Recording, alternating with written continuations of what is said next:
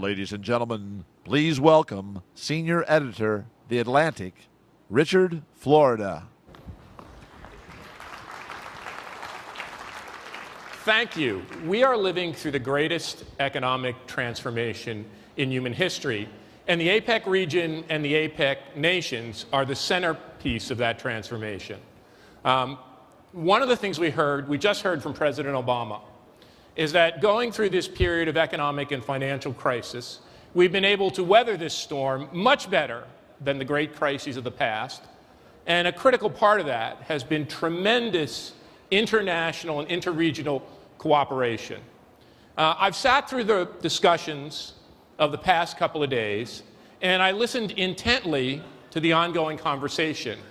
But one thing I, I feel that's missing from this dialogue is a true understanding of the depths of the current restructuring, what I call a great reset, and the nature of the tru- structural transformation we're going through and just exactly what we need to do as individual nations, as regions, and as cities to put us on a path to renewed and sustainable prosperity.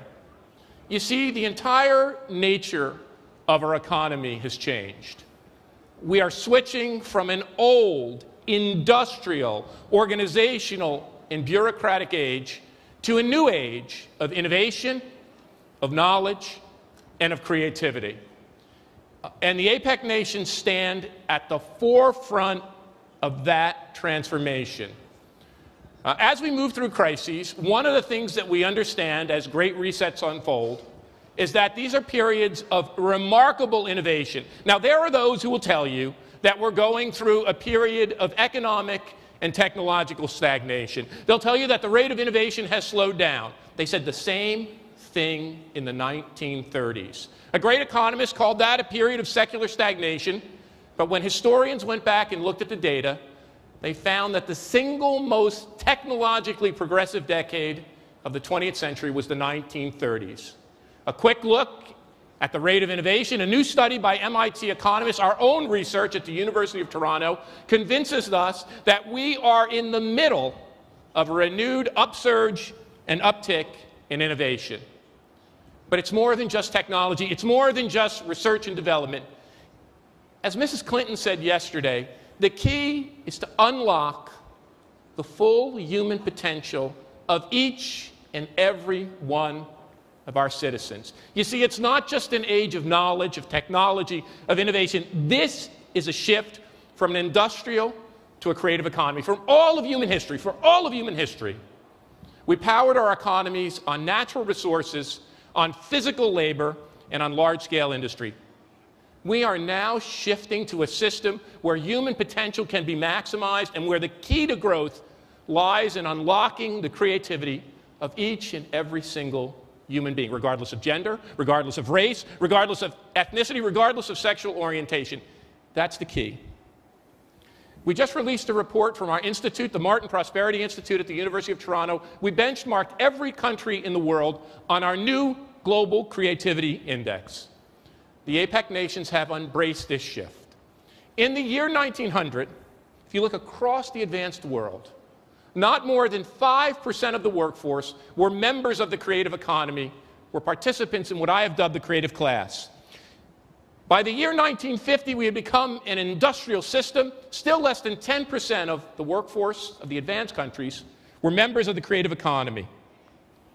Today, across the world and in the APEC region, we have embraced creativity and our creative workforce has grown. In the United States, added 20 million new jobs in the creative class. 35% of its workforce are members of the creative economy.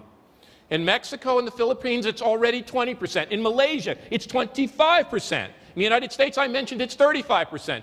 In Canada and New Zealand, 40% of the workforce today are members of the creative class, scientists, technologists, innovators, working in R&D, educators, knowledge workers, arts, media, entertainment, and culture.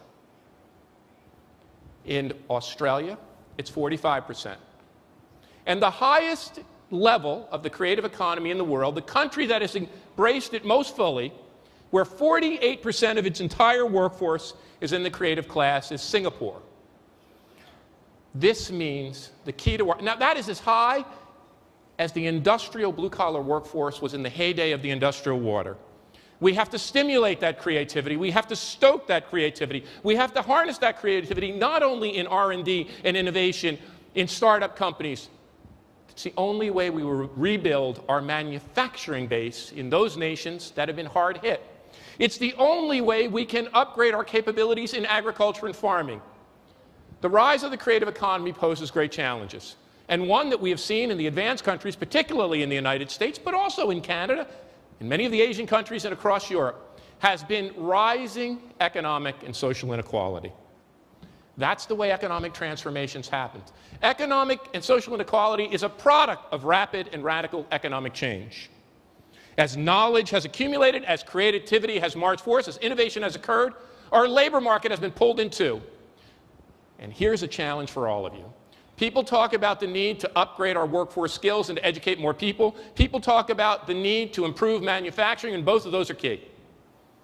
But across the world, more than 50% of our workforce works in services. They're the people who take care of our aging parents, who take care of our kids, who take care of our homes, who serve us food, who take care of us when on the road and in hotels.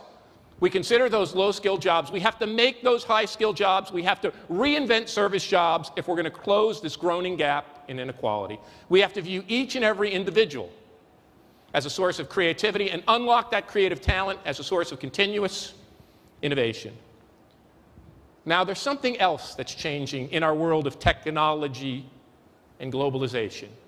People have told us that with the onset of new technology, the internet, communication, logistics, we have embraced a new global world which is flat, where we have conquered distance and geography, where place and community do not matter anymore.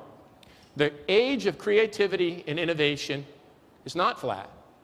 In fact, it makes cities and communities more important than they ever have been. More than 50% of the world's population lives in cities. The percentage is much higher in the APEC nations. Urbanization, the creation of concentrated and clusters of economic activity, is as important to economic growth as technological change and human capital and skill accumulation. We are living in a world of globalization that is clustered, that is concentrated. Our world isn't flat, it's spiky. And the APEC nations stand at the forefront of that change. I listened to the Cities of the Future panel yesterday and was particularly struck by Mayor Daley's remarks. He talked about the rise of the megacity and the rise of the city state. My own research has benchmarked the new economic nature of the creative global economy. The rise of the mega region clusters of regions, the Shanghai Beijing axis, the Mumbai Bangalore corridor, the Boston New York Washington corridor, for Mayor Daley, the Chicago Detroit Pittsburgh axis. Those are the economic organizing units of our time. There are 40 of these mega regions that dominate the world economy. The APEC nations include four of the top five and 25 of the 40. Those mega regions house but 10% of the world's population. They produce 50% of our economic output and account for nearly three quarters of our innovations. One of the things that you have to do going forward in this summit, as business leaders, as political leaders, is take the issue of our cities and mega regions seriously. Look, folks, if the industrial corporation was the social and economic organizing unit of the industrial age. If the rhythms and patterns of the industrial corporation structure our lives and powered growth, I submit to you that our cities, our megacities, and our mega regions are the social and economic organizing unit of our time. They are where new ideas and new innovations come from. They are the organizing structures like the Silicon Valley, where people can combine and recombine and create new ideas and build new startup companies that set forth those gales of creative destruction. Well, the APEC nations have taken leadership too. In China, investments in high speed rail, which other nations, including the United States and Canada, as well as other Asian nations, need to understand, which can speed the velocity and flow of goods, people, and ideas and help propel, propel economic growth. And we need to bring more city leaders and mayors to the table. As Mayor Daley said, it is the mayors of the world who are on the ground understanding the changes and the public private partnerships that are ongoing that are key to our time. We are in the middle not only of a financial and economic crisis, we are in the middle of the greatest structural transformation in all of human history. And we have much to look forward to. We have many challenges, but a great opportunity. You see, the key to our economic growth in the future no longer depends on natural resources. It doesn't anymore depend on having giant buildings or even the best industrial corporations. Those nations, those communities, those cities and regions that will lead and succeed have but one key resource that we can harness, and it's one that is limitless and indivisible. We need to tap the collective creativity that lies deep within each and every one of our people and bring that together in vibrant communities and cities that can lever and organize that change. I hope you're up for the challenge, and thank you for having me.